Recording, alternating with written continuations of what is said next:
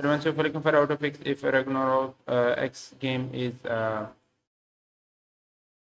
uh, freezing or if it's not working properly on your device, and this will be showing you how you can fix this type of issue in the game. So the first thing you need to do is simply uh, restart your device, and once you restart your device and start the game again, check out whether the issue is fixed or not.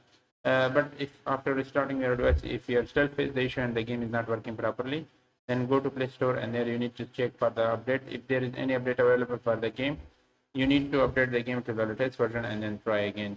So if uh, there is no update available for the game and uh, you still face the issue and the game is not working properly, then uh, in this case, uh, what you need to do, locate the game icon on your device and uh, here you need to hold the game icon and then go to the app info.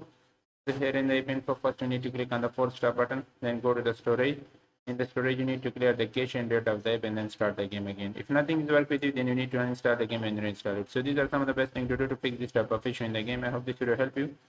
Subscribe this channel for more informative videos like this thanks for watching and see you in the next video